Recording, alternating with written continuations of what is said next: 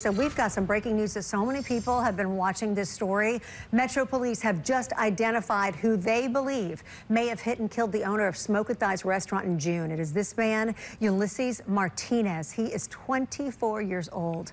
Now, he's also wanted for auto theft. He was last seen in Brentwood. If you have seen him, again, Metro Police have identified this guy as a suspect. They do not have him in custody. So if you see him, call police right away. This brutal